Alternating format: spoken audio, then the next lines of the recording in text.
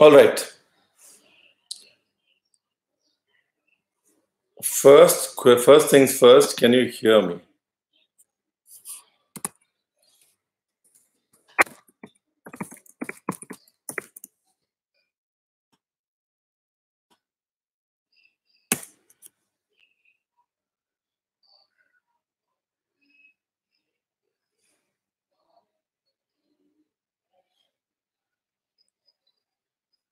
आवाज आ रही है Okay, I see a lot of yes chefs. So I'm assuming that yes chef is for. Um, what we'll do is we'll wait for two, three minutes. Okay. Um, we'll wait for two, three minutes till everybody comes live and then we will start the conversation, the class. Okay.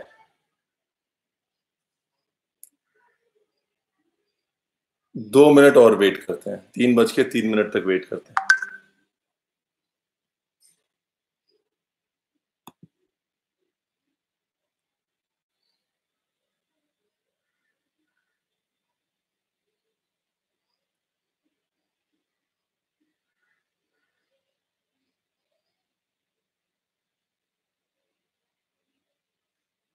I hope all of you are staying in. I hope all of you are staying safe.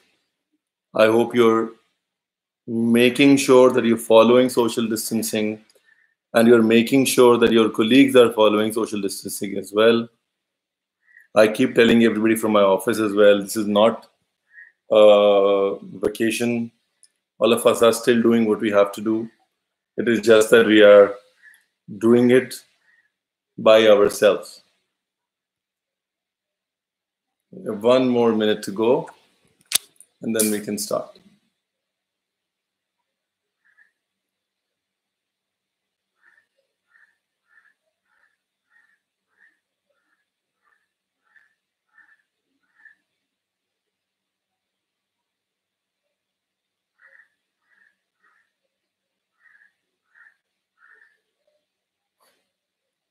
All right, let's do this. So we have a thousand students almost, which is great. पहली चीज तो ये कि भाई um, welcome, you know, um, welcome to the new normal, as they say. You know, um, online learning is something that we should get used to at some point in time in our lives, and uh, this is something that uh, is an opportunity for you guys to get used to. Okay. Um, the idea initially was to was to do uh, some cooking for you also today primarily what we'll do is you will have to look for links that i post. Uh, i will post those links. You will have to go on those links to access that content okay? And then uh, we will talk through it because it's on the laptop. I can't really catch it in the carry it in the kitchen.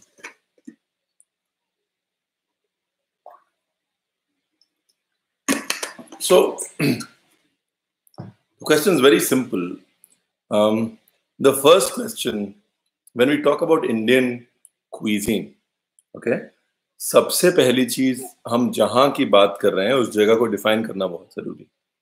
अगर हम बोलते हैं Indian cuisine तो what is India because India का नक्शा भी ideally सिर्फ़ 1947 uh, के बाद फ्रीज हुआ है।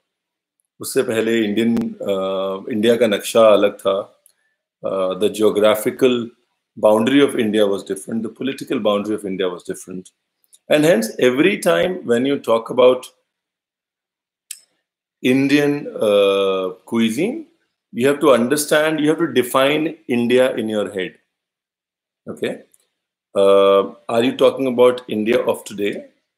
Or are you talking about India of yesterday? Or are you talking about India of day before yesterday? To give you a small example, while today you have Indian food and Pakistani food and Bangladeshi food, before 90, 1947, all that was Indian food. Okay.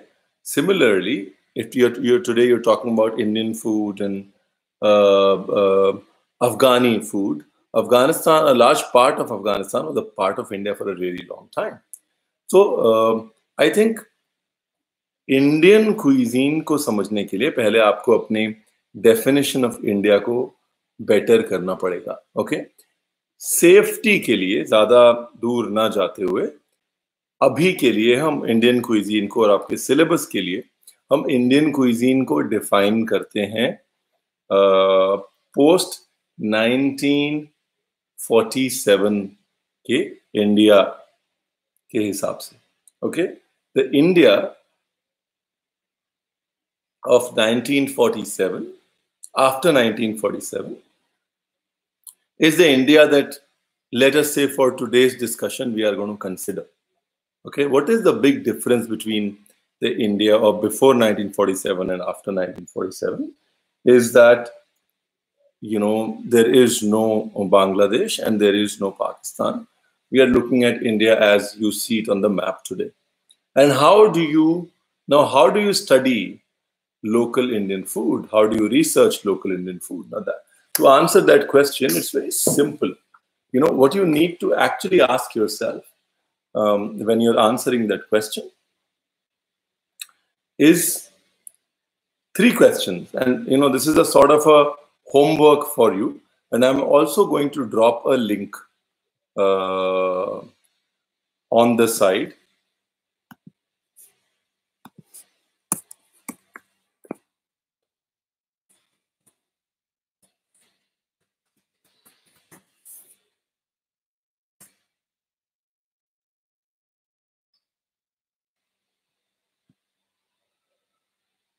Okay. Now this link this link that I'm dropping on the side is what I want all of you to see because it's the first link to understand Indian food.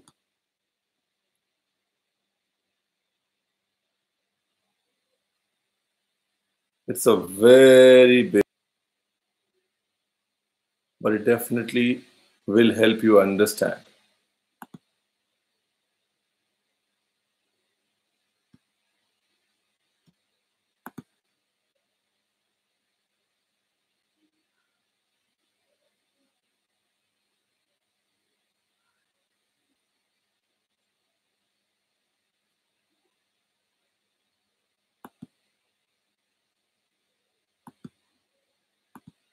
So here I'm dropping a link.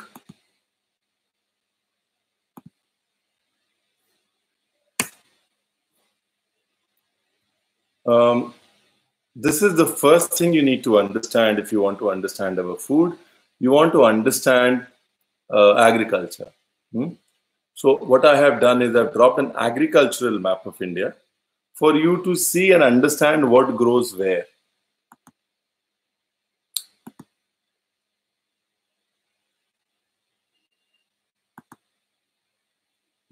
And the moment and this is a very broad uh, broad categorization but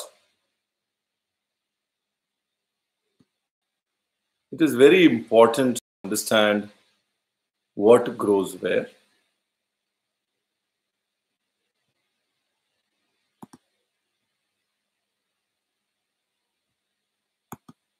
Because once you understand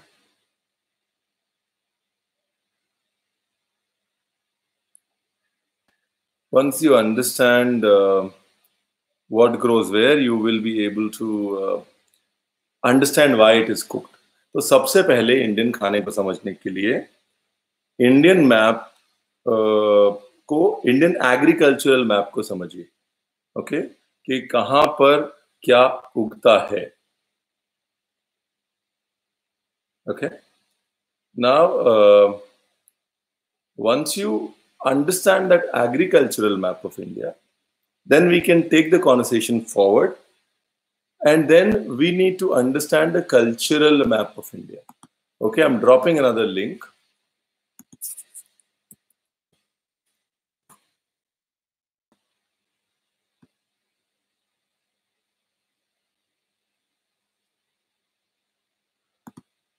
All right. So understand the cultural map of India कि कहाँ पर कौन कौन से cultures हैं। Because what we think is exist as a state was not always a state इसमें से ज़्यादातर स्टेट्स भी जो 1947 के बाद बने हैं। उन स्टेट वो स्टेट्स पहले नहीं थे, उन स्टेट्स की डेफिनेशन कुछ और थी।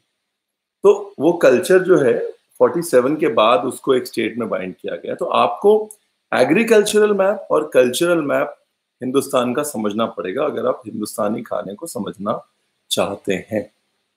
Okay now these are the two things that I want you to do as a homework you should know about agriculture in India you should know about what grows where and at what season in India and in what region in India मिर्ची कहाँ पर होती है?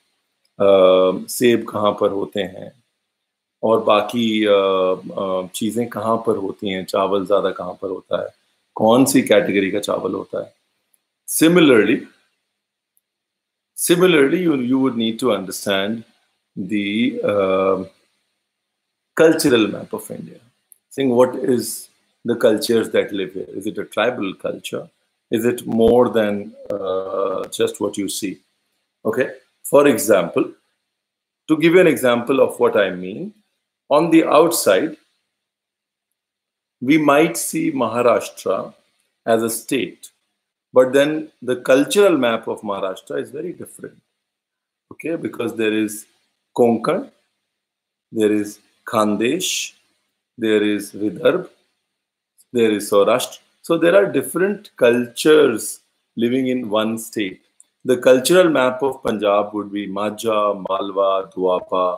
The cultural map of Uttar Pradesh is also very different.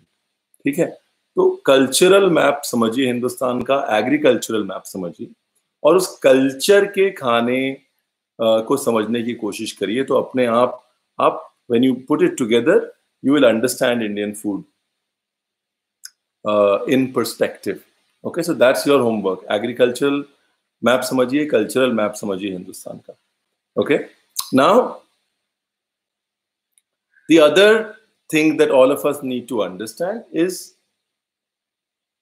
the taste requirements of all cuisines are the same we are time trying to create we are trying to create the same uh, taste everywhere. Okay, so there is sweet, there is salty, there is sour, there is spicy, and there is bitter. Every region will have a different ingredient to create that taste. Okay, तो अगर for example अगर दही खटास के लिए इस्तेमाल होती है अवध में टमाटर खटास के लिए इस्तेमाल होता है पंजाब में, इमली खटास के लिए इस्तेमाल होती है हैदराबाद में, कोकम खटास के लिए इस्तेमाल होता है कोंकण में, नींबू कहीं खटास के लिए इस्तेमाल होता है। वो इसलिए होता है क्योंकि वो वहाँ पे उगता है। तो आपको पहली चीज़ एग्रीकल्चर मैप समझना है हिंदुस्तान का, दूसरा कल्चरल मैप समझना है, तीसरा आपको ये समझना है कि वो पाँच जो टेस्ट है, खट्टा, मीठा, तीखा, कड़वा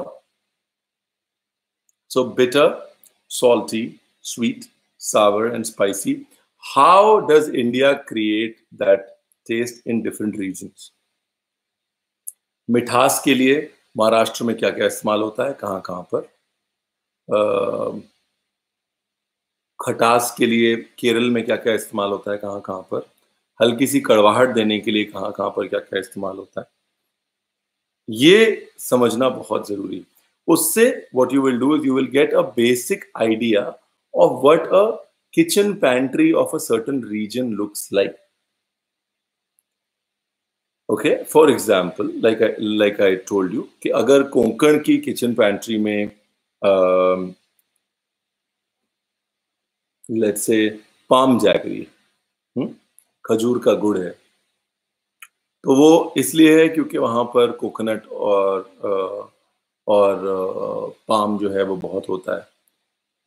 कोकम है खटास के लिए तो मिठास जागरी से आ गई, खटास कोकम से आ गई। You know so it typically depends on what grows there so एक आपका सर्कल कंप्लीट हो जाएगा अगर आप ये तीन काम करेंगी। Okay okay? इंडियन खाने को समझने के लिए तीन काम करिए। सबसे पहले एग्रीकल्चरल मैप देखिए, बनाइए। उसके बाद कल्चरल और रीजनल मैप देखिए। बनाइए। और तीसरा, एक अपनी नोटबुक में, डायरी में, कंप्यूटर में नोट्स बनाइए। ये लिखते हुए कि वो टेस्ट कहाँ से आता है? Where does the taste come from where does the sweetness come from where does the sourness come from where does the spiciness come from it is very easy all you have to do is call each others moms ठीक है? आपको सिर्फ़ अपनी moms को phone uh, करना है. You know you have to call your friends mom and ask because हम हर कोई अलग अलग रीजन से हैं और उनको सिर्फ़ यही पूछना है कि आप uh, जब आप जब बड़े हो रहे थे या आज की डेट में आप मिठास के लिए क्या इस्तेमाल करते हैं? खटास के लिए क्या इस्तेमाल करते हैं? और वंस यू अंडरस्टैंड दैट तीखेपन के लिए क्या इस्तेमाल करते हैं? केरल में ब्लैक पेपर यूज़ होता है। आंध्र प्रदेश में मिर्च यूज़ होती है तो अलग अलग जगह अलग अलग जगह पे अलग अलग souring agent sweetening agent spicing agents use होते हैं वो समझना बहुत ज़रूरी है, ओके okay?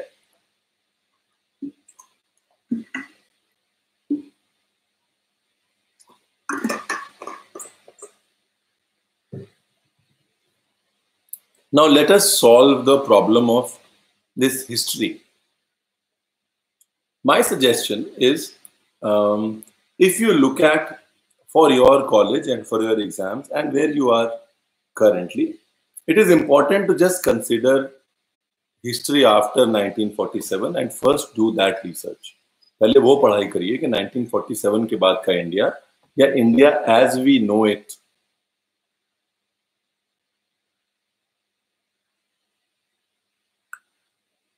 वो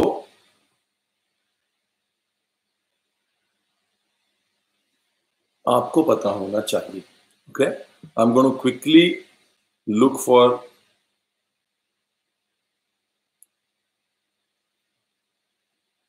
so I have my phone on the side ताकि क्वेश्चंस मुझ तक पहुँच जाएँ और मैं आपसे बात कर पाऊँ। Okay so like I said Hindustani खाने में that's what it is the second important part ये तो एक चैप्टर आपको मैंने बता दिया दूसरा इंपॉर्टेंट चैप्टर हिंदुस्तानी खाने में जो है वो स्पाइसेस uh, का okay now a lot of our the beauty of our food is basically spice mixing okay पूरे हिंदुस्तान में अगर हम आ, मसाले लें तो वही मसाले यूज़ होते हैं। सब जगह जीरा यूज़ होगा, धनिया यूज़ होगा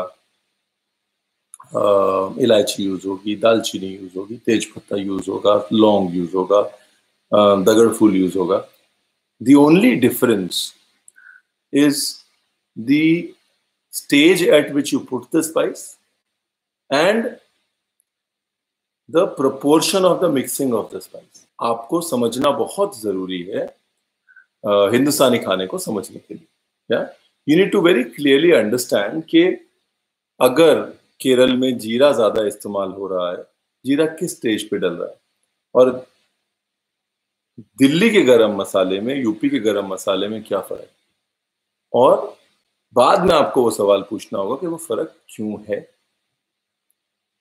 Okay spice mixing is very important to understand Indian food and break it down in your head. Okay? एक एक रीजन के स्पाइसेस क्या है? उसका स्पाइस मिक्स किस तरह का होता है? कौन से स्पाइसेस ज़्यादा इस्तेमाल होते हैं? और कौन से स्पाइसेस किस स्टेज पर जाते हैं? उसे बहुत फ़र्क पड़ता है। सिंपल एग्जांपल मैं आपको बता रहा हूँ। पंजाबी खाना जो है, उसमें तेल, सबसे पहले घी या तेल गरम करके उसके अंदर हम जीरे साथ और उस पेस्ट को भूना जाता है तो उसमें मॉइस्चर आता रहता है। तो दोनों केस में एक तरफ़ जीरे की नटीनेस इस्तेमाल कर रहे हैं और दूसरी तरफ़ जीरे की एक पोर्शन अलग अलग होंगे उन स्पाइसेस के, कहीं पे कोई चीज़ ज़्यादा पड़ रही होगी, कहीं पे कोई चीज़ ज़्यादा पड़ रही होगी और दूसरा, वो स्पाइस कब जा रहा है? When is that spice sort of going in the food also becomes really really important ठीक है? ये आपको समझना बहुत ज़रूरी okay also a few things that help you understand Indian food are which is again homework for all of you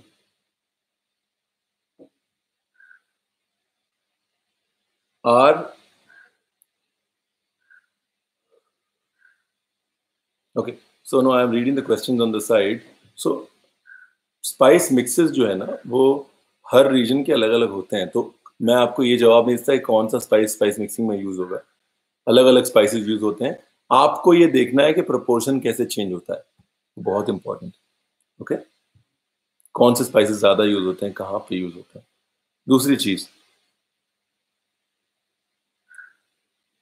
The second thing that you need to understand is beyond when you move beyond the spices कुछ चीज़ें हैं जो हिंदुस्तान को जोड़ देती हैं। उसमें से एक चीज़ है दाल, दूसरी चीज़ है चावल, ठीक है? और तीसरी चीज़ है आलू okay so you have to look at how different regions prepare their dal for a quick understanding of what is the taste profile of that region. Hindustan में दाल सब जगह बनती है ओके एवरीबडी कुक्स दाल। अब बंगाली होम कुक्स दाल है पंजाबी होम कुक्स दाल है Maharashtra home कुक्स दाल। सिर्फ़ दाल के रस्ते ही आप उस रीजन की कुकिंग और एक फ्लेवर प्रोफ़ाइल के बारे में बहुत कुछ जान सकते हैं। सिमिलरली राइस दाल, चावल और आलू, ये सब जगह हिंदुस्तान में खाए जाते हैं। आपको एक रीजन पे रिसर्च करके ऊपर पढ़ के उसमें कौन सी कौन सी दालें बनती हैं और वो दालें बना के उनका टेस्ट समझना बहुत ज़रूरी है। Okay what is the rice varieties that I use is different from another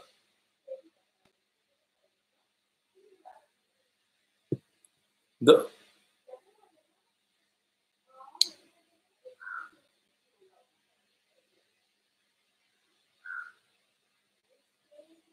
okay, so best sources to understand indian food uh, for me um, where where you guys um, currently are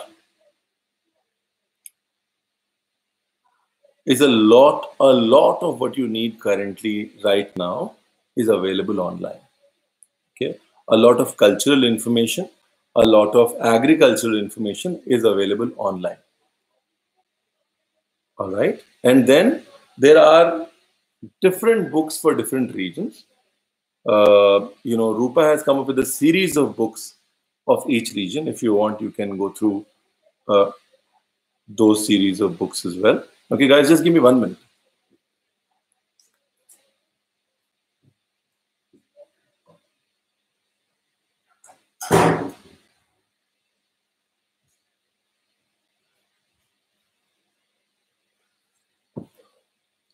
So uh, you could use that um, as a reference. Okay. The uh, I always tell everybody that Prashad is an excellent book that everybody should have. Prasad, the Masters of Taste. Um, chili powder and paprika. Paprika is is basically another variety of chili, which is uh, which has uh, more more body, less seeds, which is spicy, uh, which is not as spicy as our current chili. That's the only difference between chili powder and paprika. Most of that chili earlier used to paprika earlier used to grow in Hungary. That chili now it's grown almost everywhere. Mathania मिर्च जो है वो कश्मीरी मिर्च actually क्या है बहुत ही छोटी मिर्च होती है और बहुत कम इस्तेमाल होती है ज़्यादातर जो हम कश्मीरी मिर्च बोल के लेते हैं वो एक्चुअली बेडगी मिर्च है बेडगी मिर्च is more commonly used as Kashmiri mirch. Uh, but yeah, Mathania mirch is typically from Jodhpur. It's a completely different uh, species. Can adding spices at various times change the flavors of dishes? Of course.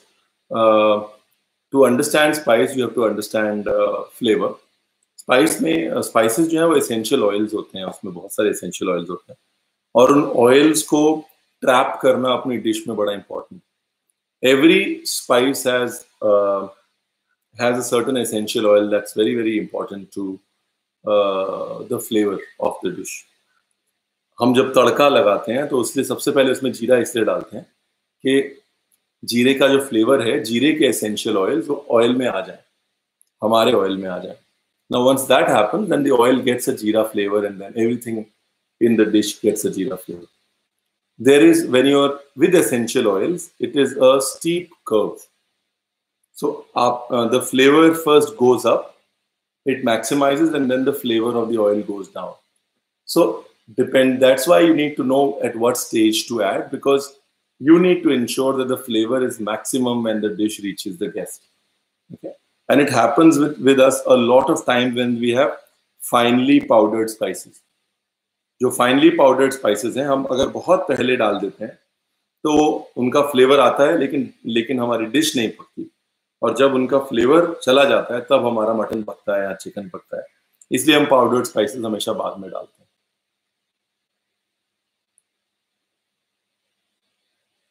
Difference between kokum and imli kokum is basically um, from the mangosteen family. Hmm? Kokum is like a, um, it's like the Indian mangosteen. Um, Mangostana indica, I think that's what the name is. Now I'm also curious.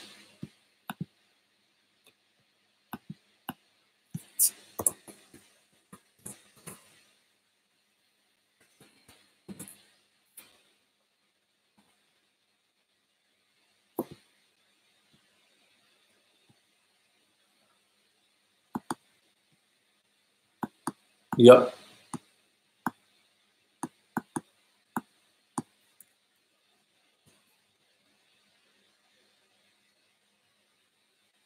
Yeah.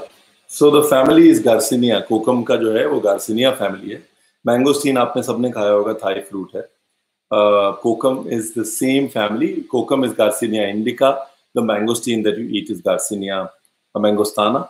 Uh, the difference is you eat the inside of the mangosteen and throw out the peels. Kokum may you eat the inside and dry the peels with salt, and that is what becomes kokum because the peels are a lot more tender. Hmm? Kokum essentially uh, is a berry. if you go on my Instagram, there's an entire write-up that is done on kokum. You guys should definitely read it out. Imli is Imli. All of us know what Imli is.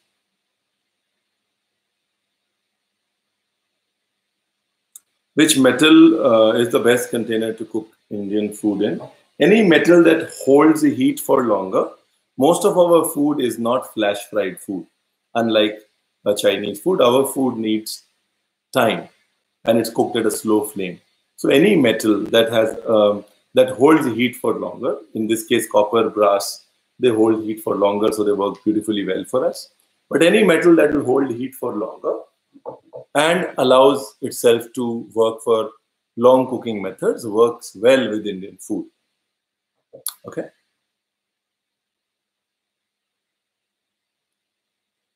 Clay also, that's why it works well with Indian food, is because clay also holds heat really well. Smoking is extensively used in India.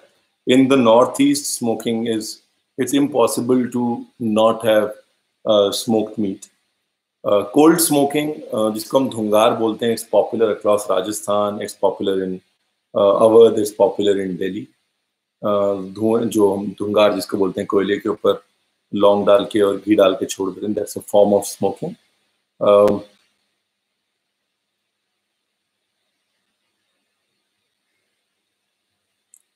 replacing tomatoes is very easy. So if you see my food, because i've grown up cooking a lot of lucknow food, i hardly use tomatoes.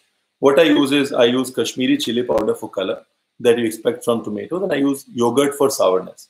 So as a basic rule, you know, wherever you have to add chopped tomatoes with some yogurt, add some Kashmiri mirch powder.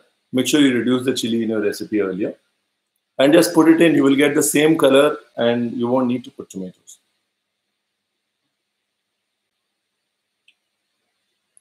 Imli is uh, again originally from India तो बहुत बहुत uh, मुश्किल है but imli has been in India for a really long time it's the reason it's called tamarind is because the name is tamarul Hind uh, fruit of fruit of Hind, fruit of India. So yeah, you could say that uh, Imli, uh, for the largest recorded recorded history, um, is Indian, um, and the name is given by the world to acknowledge that. How can we replace tomatoes? Ho gaya, uh, dum. Okay. So, uh, so to understand dum, you need to understand a process um, called. Uh, wait, let me get something to help you explain dum.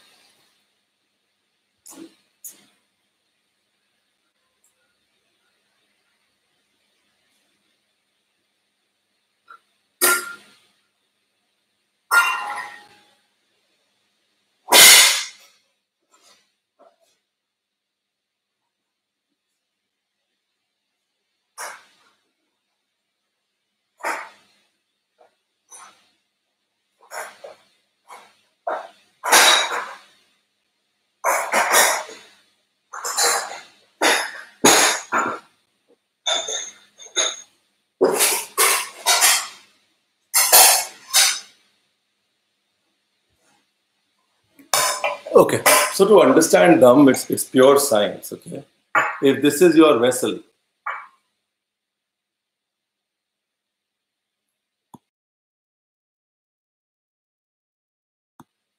so if this is your vessel और इसमें नीचे से अगर आप गर्मी देंगे तो गर्मी देंगे तो क्या होगा इसमें भाप बनेगी हुँ?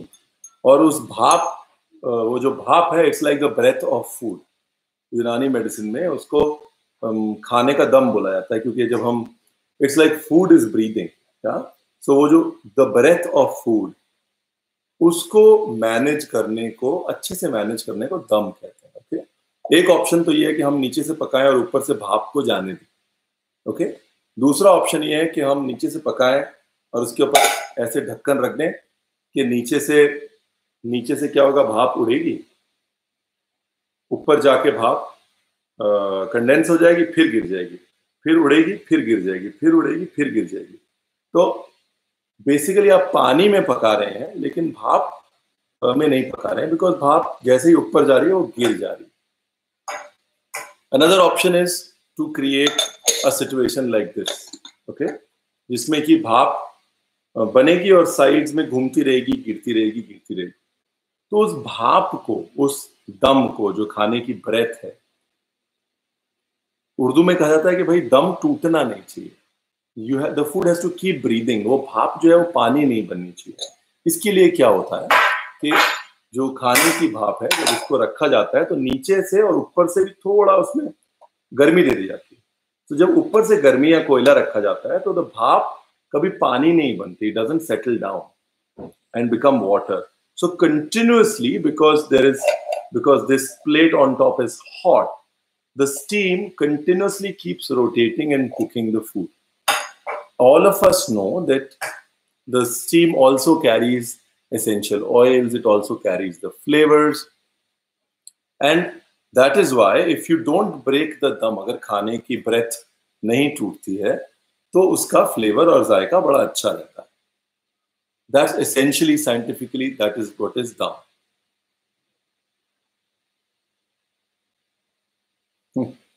Kalonji and chironji मैं बताऊँगा नहीं आप लोग को। इतनी पढ़ाई करनी चाहिए इंटरनेट पे जाके भी कर लीजिए। Chironji is charoli seeds and kalonji is onion seeds they completely different in shape size colour please please please study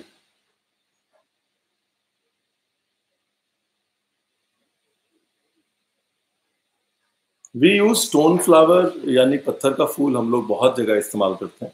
Uh, extensively, extensively used in Hyderabad, used a fair bit in um, Delhi, Bhopal, um, used a lot in Maharashtra. Uh, Marathi खाने में बहुत इस्तेमाल होता है and it's basically a fungus that grows on the stone which sort of looks like a flower when uh, you know uh, and that's why it's called uh, uh, stone flower but like I said, most most importantly, remember that you have you basically have to do three things first and the fourth thing thing later. Understand what grows where in India, understand beyond the political map, understand what the cultures, different cultures in the country are, different regions in the country are. Once you understand that, then you need to understand how, how we deal with spices and spice mixes. And next, what you need to understand is look at Hindustan में अलग अलग reason में दाल कैसे बनती है आलू कैसे बनता है और चावल कैसे बनता है। वो चीज़ ब्रॉडली अगर आप समझ जाएँगे तो 80 परसेंट आप ये जो आंसर्स पूछ रहे हैं वो आपको पूछने की ज़रूरत नहीं पड़ेगी। Okay The spiciest chili that is found in India is something called a Bhut Jholakya. भूत झोलकिया जो है नॉर्थ ईस्टर्न चिली है, नागा चिली है, और बहुत ही it's the spiciest natural chilli occurring to man the spiciest man made chilli is called the solitary reaper जो कि Carolina में नॉर्थ कैरोलिना में हमने इजाद करी but the spiciest chili available to man is from India. It's called Bhut Jolakya. But अगर हम आम तौर पे बात करें आम अवेलेबल चिली जो आप खाने को स्पाइसी करने के लिए इस्तेमाल कर सकते हैं आप गुंटूर मिर्च इस्तेमाल कर सकते हैं गुंटूर एक जगह है आंध्र प्रदेश में वहाँ की मिर्च बेहद स्पाइसी होती है Guntur chilli is a good substitute use for spicy chillies the two chillies you need to balance for spice and and colour and flavour is Guntur and Byadgi आमतौर पे अगर आपको खाना स्पाइसी पसंद है तो आप गुंटूर ज़्यादा इस्तेमाल करें। अगर खाने में रंग देना चाहते हैं तो आप बेड़गी ज़्यादा इस्तेमाल करें। Science behind putting salt in desserts is because salt is natural flavour extractor salt जो है, वो जब आपकी ज़ुबान पे जाता है तो आप फ्लेवर को बेहतर महसूस कर सकते हैं बिकॉज़ आपकी ज़ुबान जो है, वो हल्का सा सेलिब्रेट करती है पोर्स आपके ओपन होते हैं तो आप बारीक फ्लेवर्स को ज़्यादा अप्रिशिएट कर सकते हैं। इसलिए डेजर्ट में भी थोड़ा सा सॉल्ट डाला जाता है ताकि you understand those bar, those nuances of flavors. Tenderizers used in Indian Indian cooking. There are you can broadly categorize tenderizers two ways. One is you can categorize enzyme tenderizers. Enzymatic tenderizers जो है वो ज़्यादातर fruits हैं पपीते का इस्तेमाल होता है कचरी का इस्तेमाल होता है और पाइनएप्पल का इस्तेमाल होता है ब्रॉडली ये सारे टेंडराइजर्स हैं। एंजाइम्स होते हैं इनमें, वो एंजाइम्स टेंडराइज कर देते हैं। दूसरे होते हैं हीट बेस्ड टेंडराइजर्स, जैसे कि सेसमी ऑयल, सेसमी फीड्स, वो चीज़ें जिनकी तासीर गर्म होती है, जिनकी वजह से मीट गल जाता है। तो these are the two broad categories of tenderisers that I use in our food stone flower gives a good sondha earthy I am just answering your questions from here guys okay so stone flower stone flower gives a good sondha uh, earthy flavor to food. That's why it is used. We put coal on top during dum is because how I explained. Otherwise, if your if your dhakkan is thanda, all the dum that gets created, vapor that gets created, will get converted into water. It will condense. You don't want it condensing. You want the steam circulation to continue. That's why you put coal on top, so that because of the hot lid, it doesn't steam doesn't become water. It continues to stay steam. Uh, what is rogan josh is something that i will leave chef Kak to explain. Nobody can explain it better. Uh, but rogan josh is what 90% of you have never had including me. I had never had for a really long time. What you get as rogan josh is definitely not what, what rogan josh is लाल रंग का एकदम जोश वाले रोगन का जो गोश्त है, उसको रोगन जोश कहा जाता है। और वो लाल रंग डजन कम फ्रॉम टोमेटोज फिटकरी का हिंदुस्तानी खाने में इस्तेमाल है। कुछ चीज़ें हैं जिनको हमको लगता है कि यूनिक है, लेकिन हिंदुस्तानी खाने में बड़े टाइम से इस्तेमाल हो रही हैं। फिटकरी एलम और दूसरा कपूर या कैम्फर कपूर का इस्तेमाल मीठे में बहुत टाइम से हो रहा है बिकॉज़ इट्स ऑल्सो एक किस्म से कह लीजिए कि क्लेंजर है। और दूसरा कपूर पुराने टाइम में लड्डू उड्डू में नहीं इसलिए भी डाला जाता था ताकि चीटियाँ ना आए। तो कपूर और फिटकरी का इस्तेमाल जो है वो कई बार ऑड फ्लेवर्स होते हैं ऑफ़ फ्लेवर्स होते हैं उनको निकालने के लिए इस्तेमाल होता है। Phitkari wherever phitkari gets use it becomes very you know you can extract flavor odd flavors out. We put sugar into oil in the, this is a very ghoti question, but I will still answer it. Uh, we put sugar in oil in the beginning of cooking. Uh, it's a very um, Bengali thing to do, ghoti thing to do. उससे क्या होता है sugar जो है वो caramelise हो जाती है तो शुगर जो जब आप पकाते हो तेल में तो शुगर पहले मेल्ट होती है फिर ब्राउन हो जाती है तो ब्राउन शुगर से शुगर जो है उससे प्याज वगैरह में कलर जल्दी आता है दैट्स कैरमलाइजेशन हो जाता है इसका लॉन्ग पेपर या पीपली मिर्च जो है पीपरा मूल जिसको आयुर्वेद में बोलते हैं उसका इस्तेमाल बहुत ज़्यादा है हिंदुस्तानी खाने में in fact the book that you should all read is Charak Samhita I have seven volumes the same kept at home जिसमें आपको पुराने मसालों के actual you will get to know the other uses of it but pipra mool या pippali is is great for digestion. It's great. It's great for blood blood pressure, and it's also uh, the only pepper substitute which is peppery and slightly sour. All right. So asa foetida, we'll take two more questions. Asa foetida is um, या हींग जिसको बोलते हैं एक resin होता है पेड़ों के बीच में कट मार दिया जाता है जड़ के पास और वहाँ से जो गोंद निकलती है वो गोंद जो है वो बहुत स्ट्रांग होती है उसको किसी चीज़ में मिला के दिया जाता है जिसे हम बंधानी हींग बोलते हैं मतलब वो गोंद ली जाती है वो गोंद को स्टार्च के साथ बाइंड कर देते हैं। कई बार गीला दिया जाता है उसको। बाइंड करने के दो कारण है। एक तो वो इतनी स्ट्रांग होती है कि उसको डाइल्यूट करने की ज़रूरत होती है।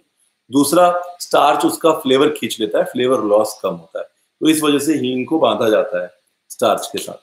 But it is a reason that essentially most of the production in the world comes from Afghanistan.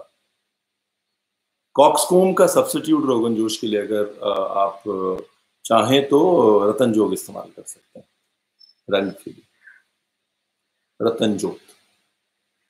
All right people thank you very much I hope I hope you enjoyed the life session I enjoyed it very very much most importantly if there's any confusion with any classical recipes और basics of recipes you can go to my YouTube page if you haven't subscribe that और you could, most of the times, Instagram DMs are answered by me.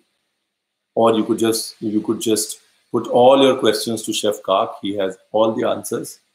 Um, you know, but I it's it's an honor. It's an honor being uh, being with all of you. Please study hard. Please uh, stay responsible, stay safe. Listen to what the local authorities are saying. I know it is it is not easy to just stay away, and you guys are used to being with your friends all the time. Sometimes you got to do it for the greater good. Let's all do it for the greater good. God bless you. Take care.